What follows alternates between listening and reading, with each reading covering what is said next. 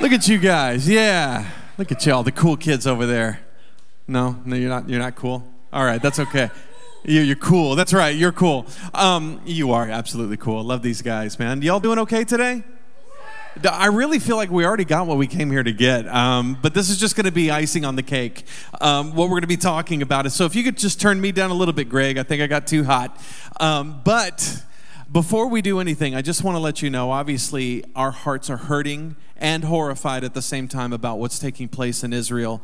Um, and um, there's a lot to be said about that, there's a lot of thoughts about that. Um, this isn't a day to where we're going to start picking sides and splitting hairs.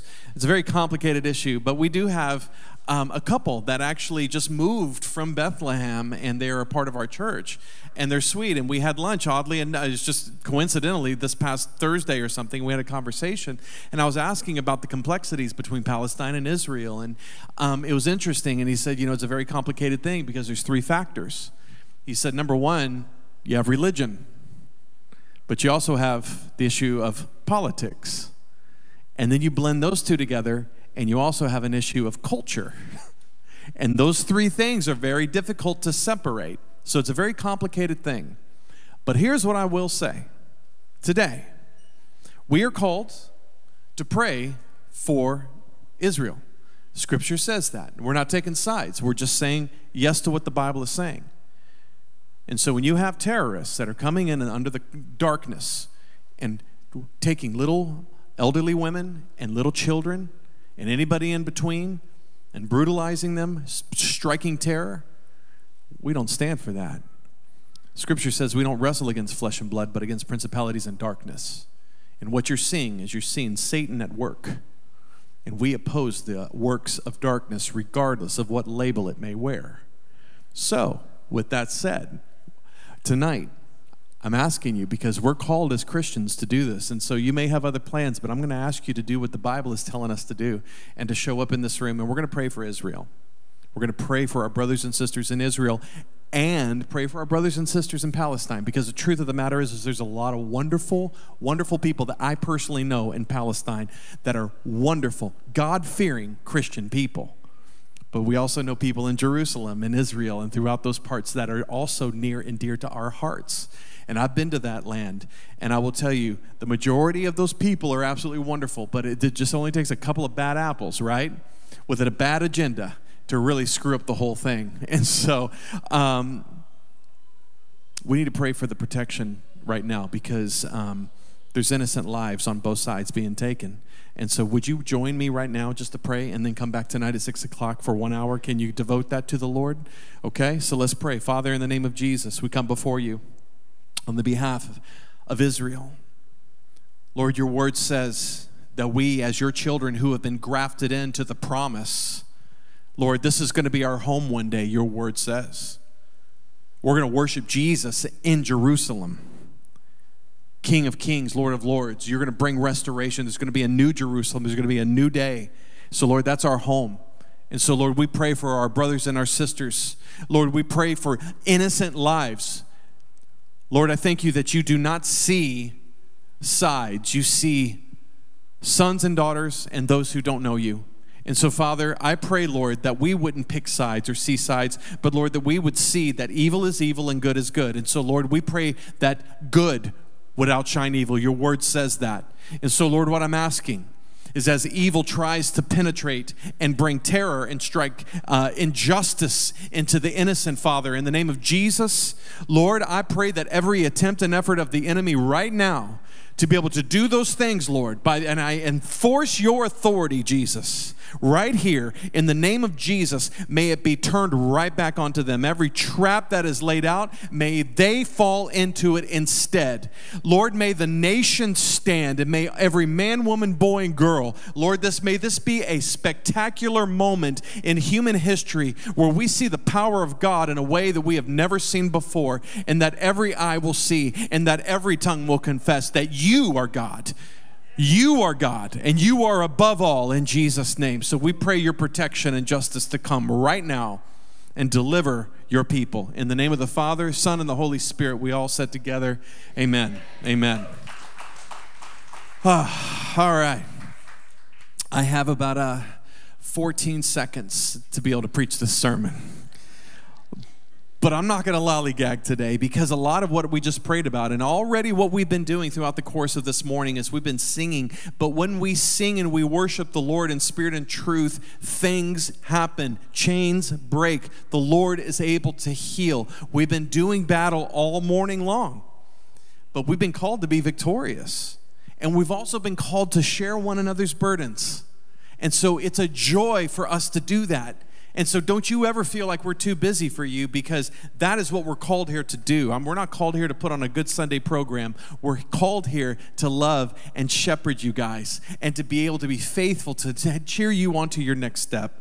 And so what we're doing is we started the series last week. How many of y'all were here last week? Let me see a show of hands.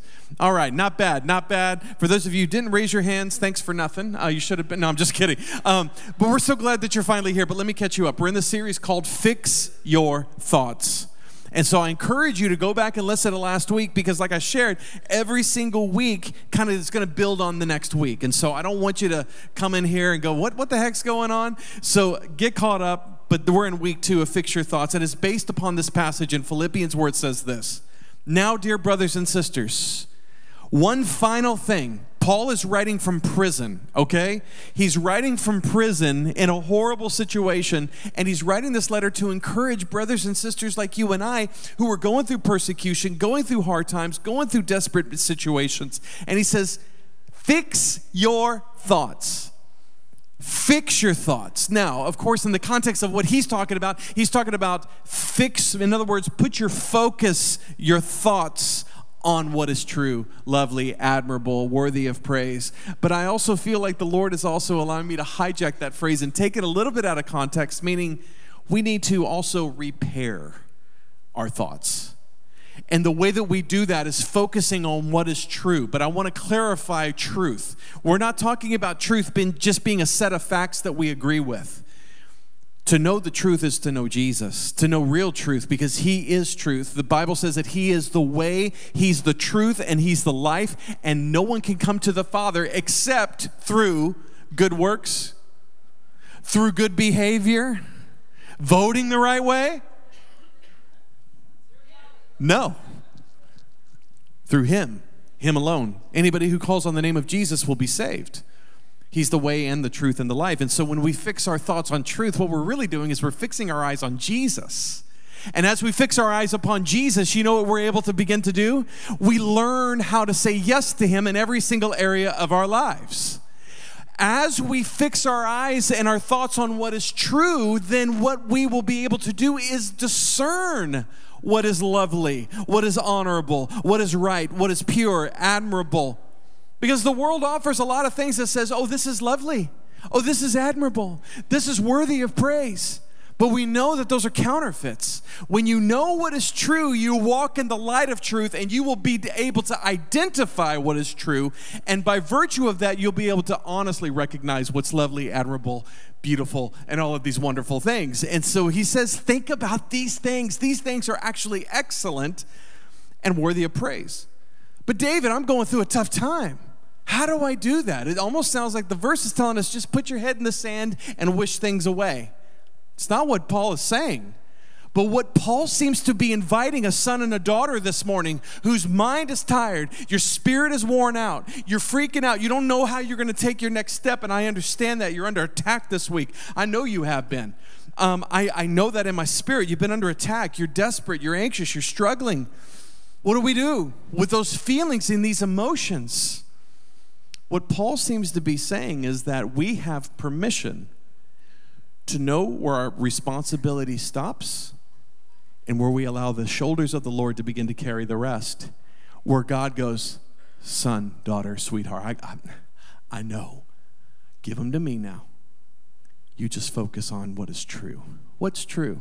He loves you. What's true? He cares for you. What's true? He will supply all of your needs according to his riches and glory. These are all scriptures, by the way. That's what's true. He says, Come to me, all of you who are weary and burdened, and I will give you rest for your souls. I know you're tired.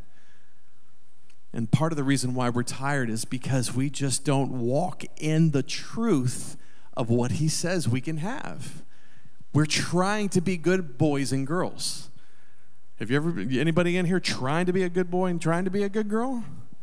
It's just instinctive to us. We want to be bell ringers. We want to make the Lord proud. We want to make our families proud. We want to make our churches proud, whatever it may be. But if you do it from your own strength, you only got a limited resource, and then you're just like, I can't do this anymore. And so you get tired, you get worn out. You're like, man, I'm tired of trying to be good. I can't do this anymore. Well, guess what?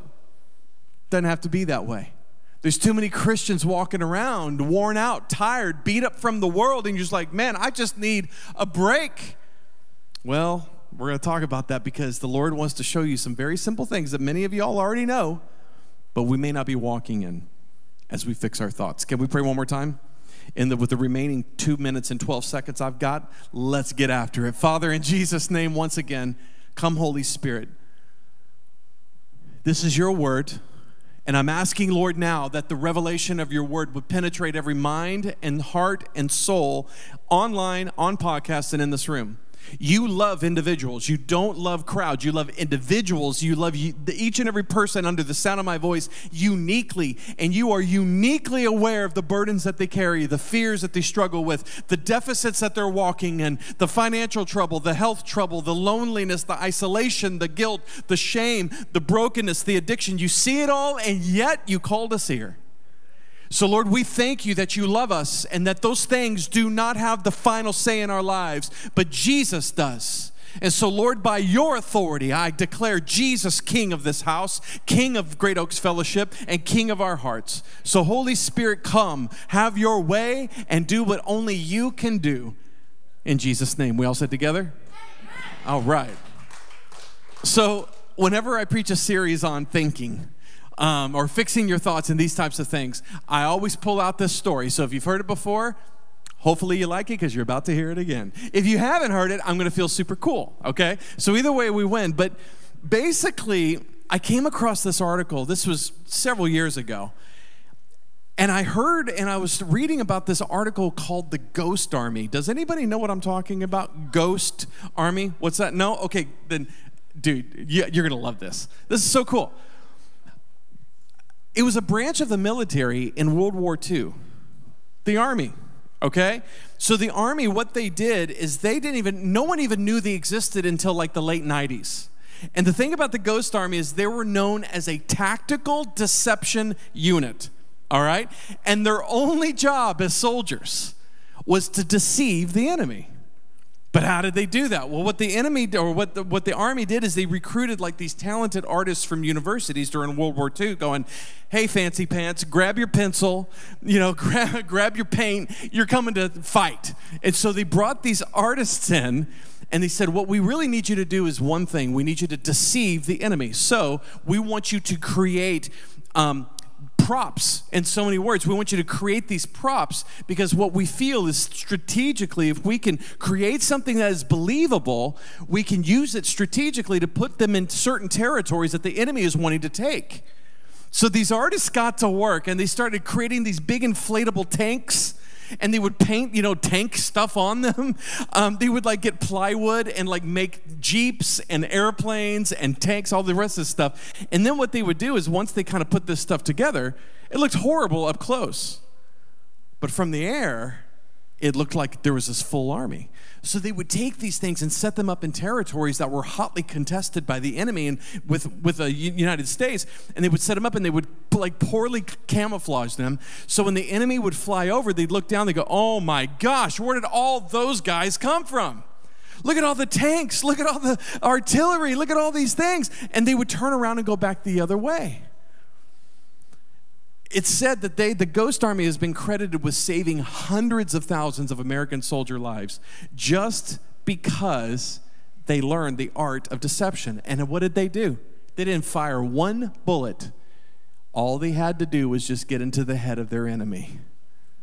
All they had to do is find a way to get here and to get them to see something that they thought was true that really wasn't. I think that's bad to the bone. I'm glad everyone else seems to agree as well. But here's my point they had to learn how to get into the heads of their enemies. Once they were able to get into the heads of their enemies, they were able to put the, the battle of deceit upon their minds. And so, because of that, they weren't able to take over territory like they had planned because they had been deceived. And the reason why I share this is because as we fix our thoughts, I got to tell you something. The devil is a master of deception. I want you to really hear this because I know that most of us in here are convinced that we know the truth about a lot of things, and we do in some ways. But don't be fully convinced right now because you actually may be believing a lie that the devil says you know enough. You, you have your beliefs. Don't let this guy start screwing these things up. You spent a lot of time reading and studying to get to this point. I'm just simply saying the devil knows how to fight. And where he fights is on the battlefield of our mind. He's the master of deception. And don't ever forget the fact that the best lie always has an element of truth to it. Y'all with me? Y'all are leaned in and listening hard, ain't you? Okay. The reason why I bring this up is because as I was thinking about this throughout the course of the week, I, I, I pray with a lot of Christians who are worn out. And you may be one of them. And I get it. And I'm not here to judge you because you are. But I pray and I do a lot of ministry to Christians who are just tapped out, man. You're tired. The why the reason, I mean, let's think about this. Why are so many Christian marriages falling apart at the same percentage as non-Christian marriages? What's going on? right? I mean, think about the reason why so many of us are dealing with anger. We're dealing with anxiety. We're dealing with fear, doubt, brokenness. Um, I mean, you just go down the list, you know what your things are. We're struggling with these things, and I just got to ask the question is this what God meant? Is this what it means to be saved? Is this what Jesus died to give us? Or could it be maybe we're losing battles that we shouldn't be losing? Could it be that maybe we're on the wrong battlefield? Could it be we don't even understand who our enemy is? And so yeah, I want you to take some great notes because I'm going to give you four things and five questions in two minutes. Here we no, I'm just kidding. We're not getting out in two minutes. I'm letting you know right now. But I'm going to do my best. But I got to tell you, this matters too much. So don't let the clock be king. Just please hear me out. Hear the word of the Lord today in order for us to fix our thoughts, the first thing that we've got to do is we have got to know the real enemy. We have got to know the real enemy. And the reason why I say that is because, listen, I'm going to need you to trust me on this one thing. You're not going to want to believe, but I know you're going to, oh, no, no, hang tight. Your enemy is not your boss. He's not. See, this is where I already lost like a third of you. Okay? And I understand why. Because there's a face, there's an experience that you've had maybe with your boss. Your enemy is not your spouse. And there's the other 75% right there, the other two, you know, two thirds. Um, your enemy is not your spouse, guys. Your enemy is not your children. Your enemy is not your parents. It's not, it's not the person who's in the White House. Your enemy isn't the one who's running for the White House. Your enemy has is not a human being. We have to trust this. Because here's the thing students, you're going to school tomorrow, and there's people in your lives that have been stirring up drama, talking smack about y'all, right? Messing up, like bullying you, whatever. Let me know who that is. I'll, I'll come and beat them up for you, bro. I don't even care. I'll show up to elementary and I'll just handle some business for you, sir. And I love this kid. I love all of them over there. But right, but you got people in your life you're dreading seeing tomorrow because they're mean and ugly to you. So what the heck do you do? You go, that person feels like an enemy to me. I get it all of us adults, can we relate to the fact that we also have people, just because you grow up doesn't mean those people go away? They just get more sophisticated and have more resources to be more ugly. That's what big people do, man. But here's the thing Scripture says that your enemies are not flesh and blood. You go, well, what's that based on? Um, Ephesians 6, verse 12. Look at what it says. For we're not fighting against flesh and blood enemies, but against evil rulers and authorities of an unseen world. Students, adults, listen. Think about your house. Think about the arguments. Think about the slammed doors. Think about the ugly words that are coming out. Think about the thrown glass. Think about what's happening in your house and at your schools and at your places of work. You have to understand that those are only representations of what is actually taking place in the spiritual. Do y'all follow what I'm saying? Where there is brokenness, where there's drug addiction, where there's crime, where there's just whatever those things are. I was talking to a dispatcher of a public school, and she she's she dispatches the the school police, the whatever they are, and um, that's her full time job. And this is what she said. I said, so I said, question. I said, is the crimes or the issues that the school, the North North Independent, you know, North Side Independent School District, are the, is pretty much every school the same? She's like, no I said, Really? Tell me, what do you mean? She said, This school is known as the violent school. This school, and these are schools that we're sending our kids to, by the way, this school is known as the weed school. This school is known for this. This school's known for that. She went down the list, and every single school had its own thing that it was known for. Guys, this is what it's the scripture's saying to us. Scripture is saying that there are strongholds, and those are reflections of strongholds that the enemy has established just in this one example. Do you follow? So it's not against flesh and blood. Our battle is not against flesh and blood, but against principalities and darkness, against mighty powers in this dark world. And our battle is against evil spirits in heavenly places. Now, that's doing one of two things to you right now. Either you go, eh, that's interesting or you're going, okay, all right. So what am I supposed to do, David? Just get in the car and start swinging at demons?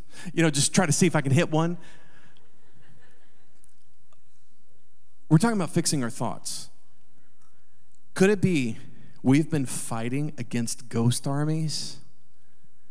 These deceptions that the devil has set up to get us distracted, to lead us towards, and all of our energies and our efforts towards fighting ghost armies around us instead of the real enemy? Could it be all those arguments that you're having with your spouse? Could it be all the issues that you've got with that person? Could it be all the things that dominate your thoughts in your mind that you're trying to fix and correct and make to take care of? Could it be you're fighting a ghost army this whole time? You have to know the real enemy, and the real enemy is not you and it's not me. Scripture says, Peter tells us this morning, this is your enemy. And we need to be aware and understand that this enemy is not here to play games with your life. Jesus said, This enemy came to steal, kill, and destroy you. This enemy is a serpent, a poisonous serpent, and snakes do what snakes do. And these poisonous snakes, you can coddle them, you can put them in your bed. They may not bite you tonight, they may not even bite you tomorrow, but at some point that serpent, that serpent is going to strike you with one goal in, in mind to kill and destroy you and eat you if they're big enough. And some of us, we have portals open in our homes of pornography, stuff that we allow on Netflix to come through our homes, the ways that we talk, the ways that we act, the secrets that we hold, the behaviors we exhibit. Those are access points for the devil to come in and do the very thing that the scripture's talking about. Peter says, You better stay alert. You need to watch out, son and daughter of God. Why? He says, Watch out for your great enemy. Go on and put that up, the devil. He prowls around like a roaring lion. This is the word of the Lord, and he's looking for someone to destroy and devour. Stand firm against him and be strong in your faith. And remember that your family of believers all over the world are going through the same type of sufferings that you're going through this morning. So your situation is not unique, your brokenness is not unique. What you're facing this morning is very common. Why? Because the enemy has three or four rusty old tools, but he knows how to use these weapons to do the job that he sets out to do. So, what does that mean for a Christian then? Peter is saying, first off, you need to understand the character of a lion. What does a lion do when it gets hungry and needs prey? He doesn't look for the strongest one in the pack. What does he do? He goes after the weak one. He goes after the weakest one in the pack. Or even better, he'll go after the one that's isolated over here away from the pack. This is why it's so critical to get in church and get your family in this building and be under the teaching of God so we can be with one another in proximity. We need each other. We need to pray for one another. This isn't just a nice little holy gathering. We need this. We need this, and you need this. I need this. And so, if you're watching online, we love you. We're so glad that you're joining with us. And we know that maybe proximity or circumstances can't keep, you know, won't allow you to come here physically. But there's some of y'all watching, and you're in your jammy pants, and you're only seven miles from this building, and you just don't want to get here because, oh, I don't know. I feel comfortable on the couch, and I'll just do. You need to get your butt in church because, and I say that in all Christian love, but if there's a real enemy that the Bible seems to be taking pretty serious, how serious are we taking it? If we're isolated, we are putting ourselves in a position to be devoured. Okay, y'all with me? they're all with me because they're all here. The ones online, they're like, I don't believe in that. But that's okay. Know the nature of the lion is what I'm saying. And so scripture seems to say that your enemy no, my name isn't in that verse. Your boss's name isn't in that verse. Your spouse's name. The devil is your enemy. Get this. And it's not like he just has bad feelings towards you, he wants to destroy you. I can't overstate that. He wants you to die. He wants to steal your dream. He wants to steal your destiny. He wants to do whatever he needs to do to be able to kill.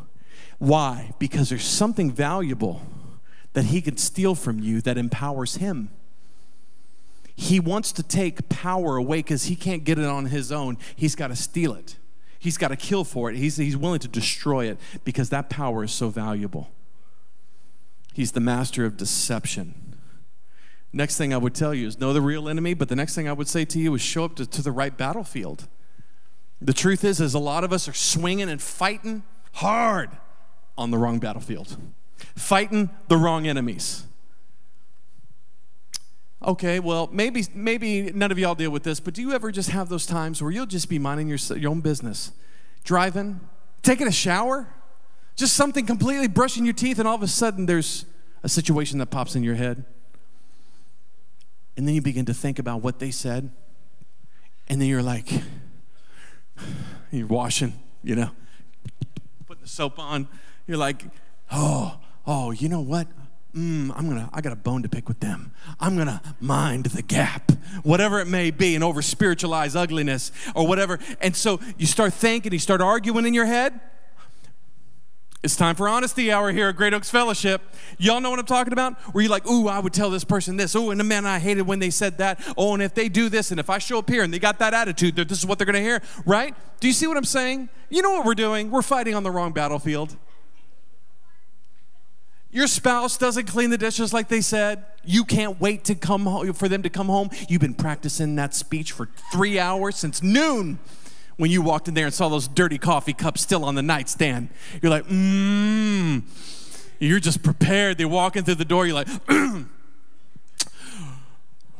four score and seven years ago, right? And you're ready with your speech.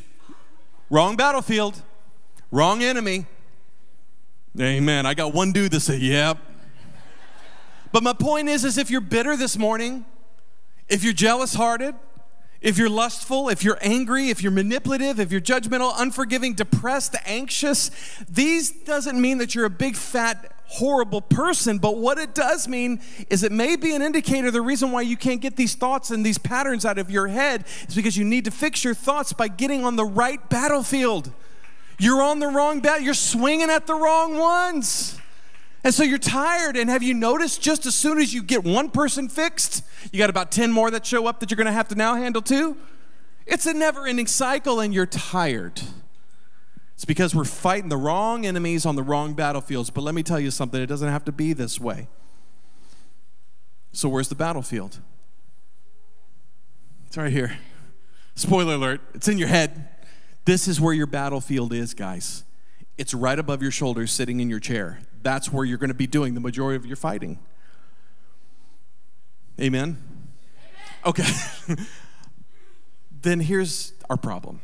I think a lot of us Christians, we already know this. You're like, man, this is like a seventh grade sermon. I already know that the devil is the bad, mean guy. I get it, right? These are horns. Um, I, uh, Dan, I already know that the battlefield is the mind. I have Joyce Meyer's book. I got Craig Groeschel's book. Oh, I got. I get it. It's about.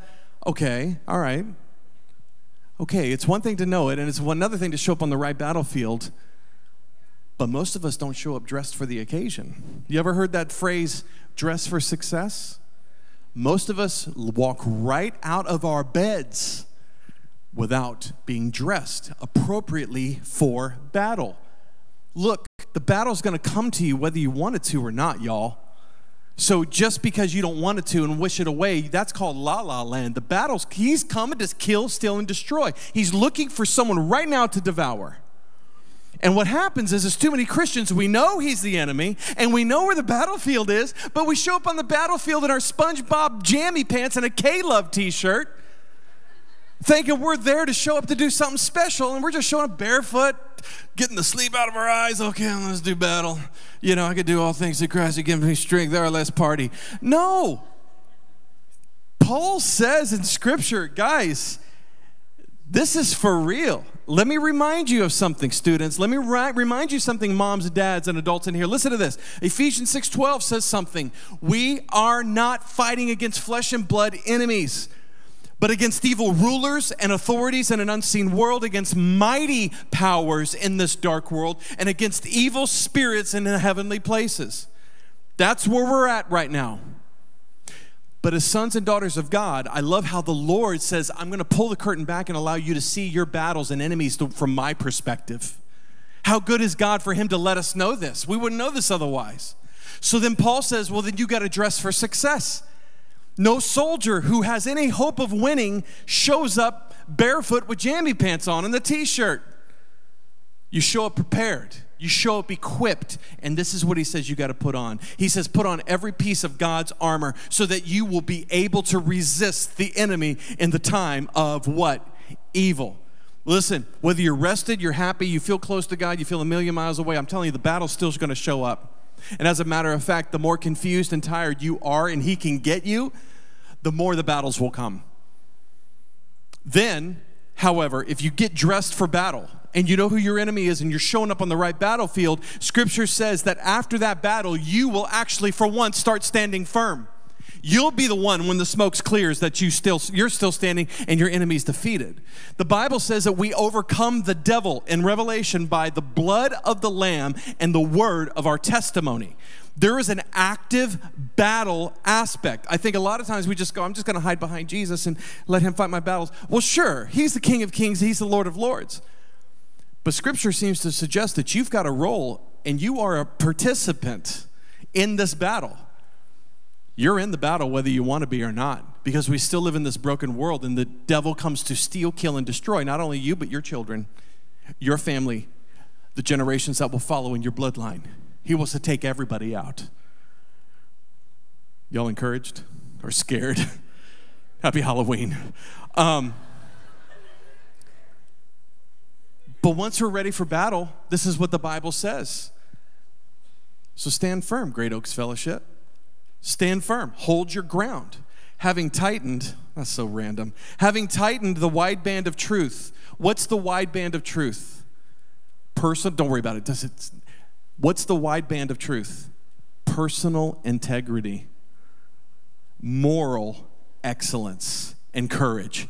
Put that around your waist and having put on the breastplate of righteousness. Well, how do we put this stuff on? Where do we get it from? We go to the Father every day in the name of Jesus and say, Lord, would you please place your belt of truth around my waist?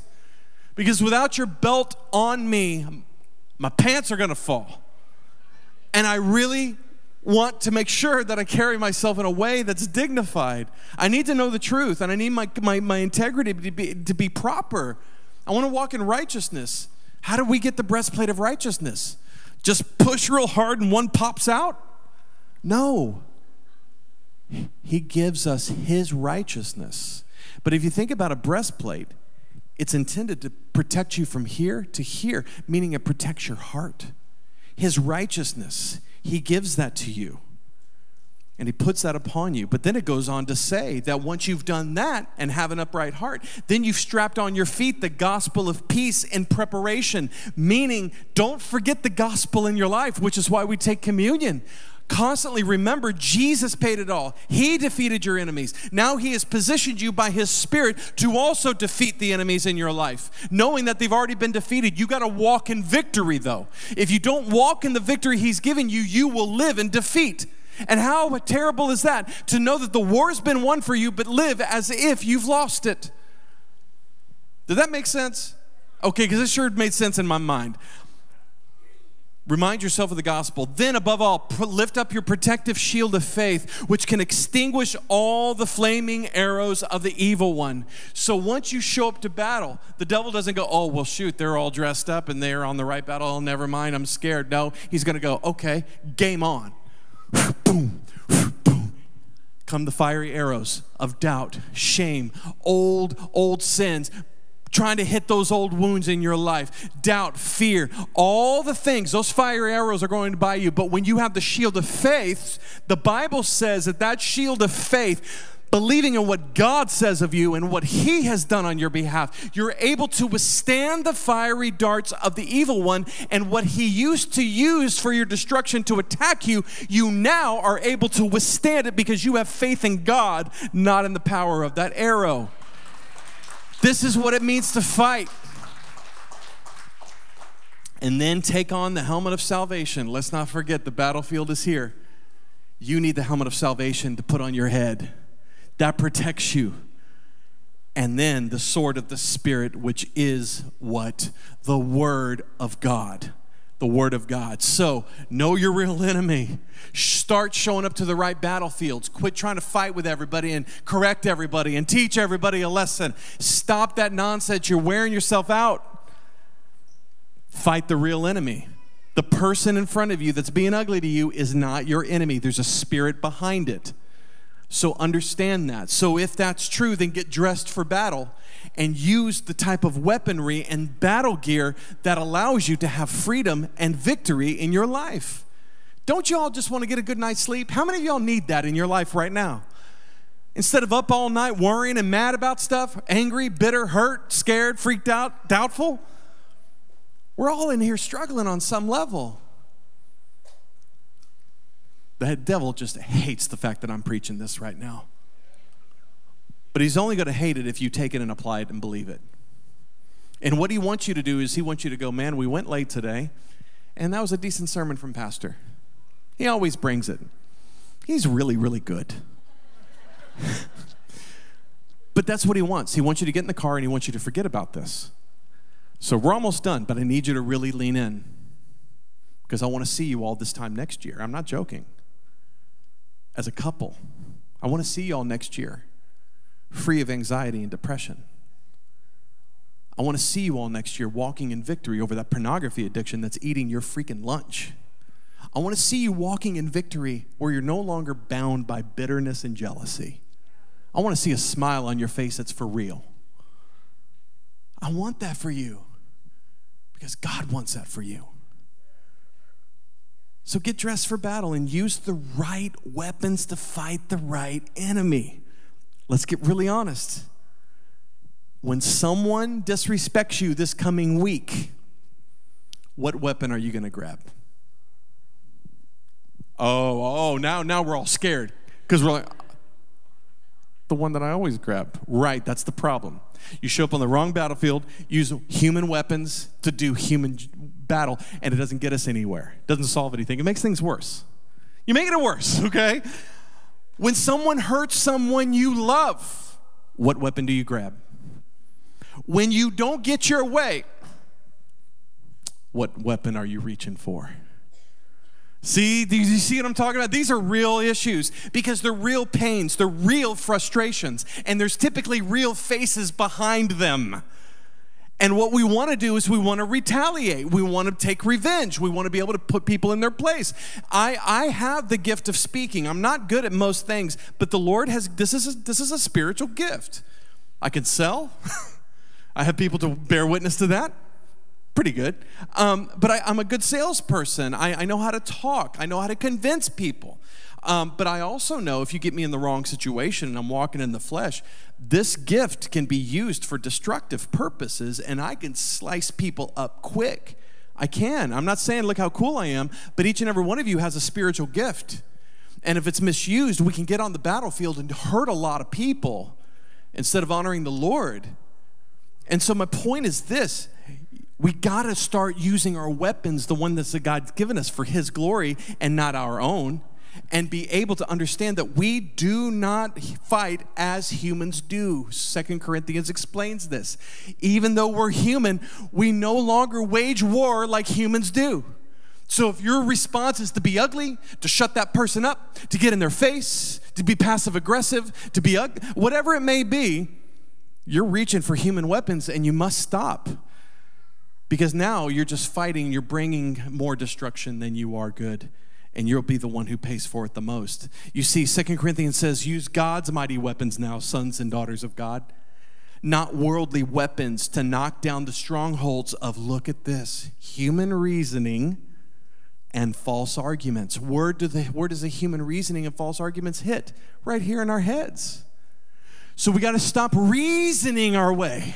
We have to stop allowing these arguments, these false arguments, to position themselves to destroy us. We don't fight against those things on our own weapons anymore. You will lose every time.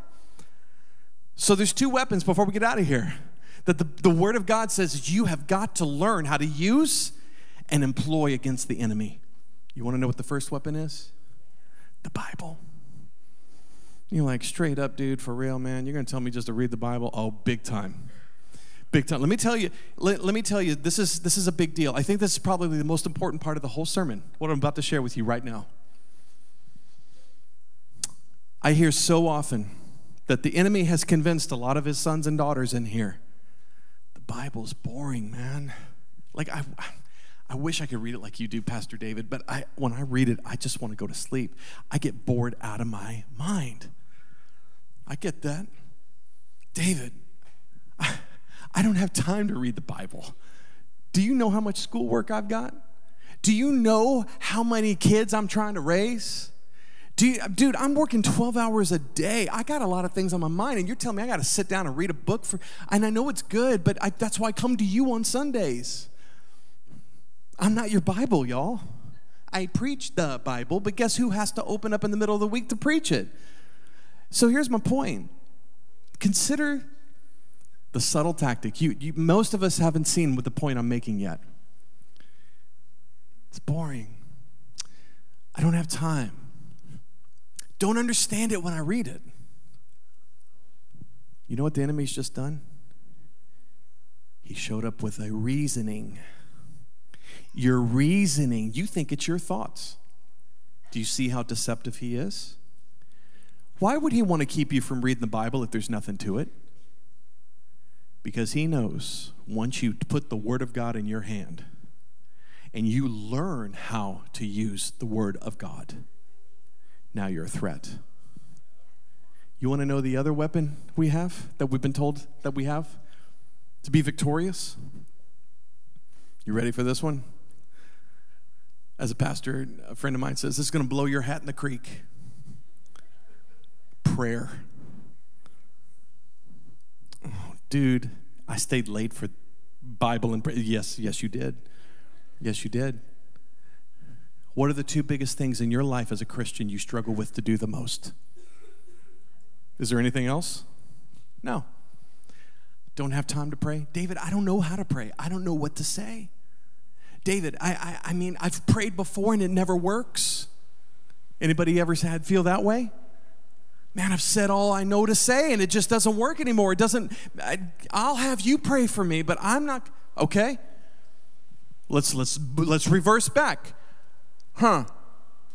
You're convinced that you, your prayers don't work. You're convinced that you don't even know how to do it. You're convinced that it's really not worth your time because you're busy, and you are. Vain reasonings. You've been deceived. You've been deceived, son and daughter of God. The battlefield of your mind, you've allowed the ghost army to convince you to keep you from reading God's word and praying when God's word says these are your two most mightiest weapons to overcome the enemy in your life, to fix your thoughts so that you can walk in victory. Thank you, Jenny Broadnecks. If it was just for you, my sister. Do y'all feel convicted? I pray you do. I straight up pray you feel super convicted, not condemned, but convicted because you if you have someone who's not in the word of God on a daily basis, not out of obligation, but not in the word of God on a daily basis and not praying on a daily basis, I can show you a Christian that is losing on the battlefield. I mean, it's that simple.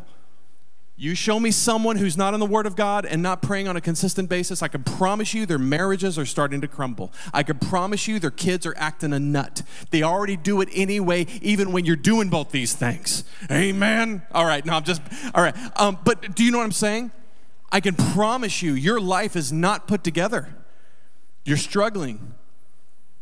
It's because you're not in the Word of God. You don't know how to use the sword, and you don't understand how to use the power of prayer. The devil has convinced you it's not worth your time when that's the very thing.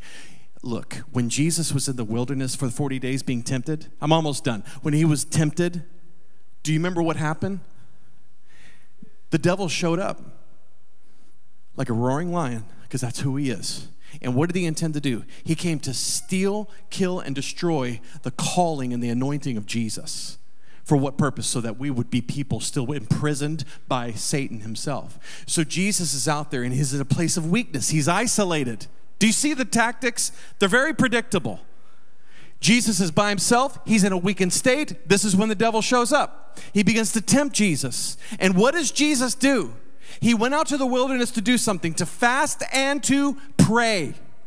As this happened, the devil showed up and said, If you're the Son of God, if you're the Son of God, if you're the Son of God. And what did Jesus do? He didn't say, Hey, you big idiot. I'm the one who made the universe. Get, get the heck out of here, bonehead. No, Jesus quoted the word of God back to him. He understood the sword of the Lord. And he prayed and he overcame the devil by the word of the Lord. So let me ask you, Christian, before we get out of here if Jesus relied upon the Word of God and the power of prayer to resist temptation so that he would not be devoured, so that he could step into his full purpose, why do you think you're stronger than Jesus to overcome the attacks of the devil? To go, I don't need to read the Bible. I don't need to pray. It's not my thing. You're stronger and better than Jesus. Is that what we're saying this morning? That's what you're saying by your inaction. I say this with love, but I'm putting it to you straight because I'm afraid some of you who don't hear what I'm telling you right now, you're not going to be in this room this time next year. I feel that very strongly. Hear the word of the Lord. Then you go, dude, how do I fight with the word of God now that you've scared me and you've spoken all these horrible things over my life? Okay, cool. Here, that, that's right where we need to be. You know, God's word says something. He says, for example, when the enemy says to you, You're weak and you'll always be weak, did you know that you can fight back with the word of God? This is what this looks like. This isn't a bunch of hocus pocus stuff where you have to go to seminary. No, you could fight back with the truth and say no. As a matter of fact, according to Isaiah 40, verse 31, God says that I'm strong. So I'm going to stand on this truth. You've just sliced the enemy on the right battlefield. When the enemy, oh no, when the enemy suggests to you that you're a failure, like many of us in here are struggling, feeling deep down inside, you're a failure. You can refute the enemy's lies on the right battlefield with the sword, and you go, No, according to Romans 8 37, I am more than a conqueror. Okay? When the enemy tells you, you are rejected. You'll always be rejected. No one wants you. You can go, no. I fight back with the truth. And according to the word of God, I could say no. According to Ephesians 1 6, I am accepted. That's what the Bible says of me. And I'm going to stand on what is true and not what you try to deceive me by with this ghost army. I'm kicking these things over. There's nothing behind them. The enemy cannot stand against the word of God. You can go on to say, listen, you are not important. You can hear the devil, you ain't important. You ain't special. You have nothing to offer. You go, no, nope, that's not true because Deuteronomy 7 6 explains that I am God's treasured possession. Now, guys, this is either true or it's not. But if God says this of you, you got to start trusting His word before you can use it. This is the reality for each and every one of you in here under the banner of Jesus. You know that, right? When the enemy tries to say, listen, man, no one likes you, David's only nice to you because he's paid to be nice to you, that is not true for most of you. No, I'm just kidding. but no, you fight back. I love y'all. And you say, no, Psalm 17 says that I'm the apple of God's eye. No, no, that's not true. For it is written. When the enemy tells you that you're a victim, you'll always be a victim. Someone's always going to get in front of you to get the thing that you want that they get to first. No, according to 1 Corinthians 15 17, Satan in Christ, I'm victorious. I'm not a victim. I'm not a victim of my circumstances. God commands my destiny according to Scripture. Next time the enemy tells you you're always going to be alone, even though you're in a crowd of people and you sleep to someone next to someone in your bed, you're alone. You're alone. You go, no. According to Joshua 1 5, he, God says that I'm never alone and that He will never leave me, He will never forsake me, and He will go wherever I go. Do you see how this works? When the enemy tries to convince you you're ugly, you have nothing to offer, no one would ever find you appealing, you go, No, according to Psalm 45 11, God says that I'm beautiful. He defines my beauty, not some dumb boy on Instagram. I'm only saying that as a dad. When the enemy tells you that you're rejected, you'll always be rejected. You go, 1 John no 3 1 says, God loves me so much, he adopted me as his child. He hasn't rejected me. That's a lie.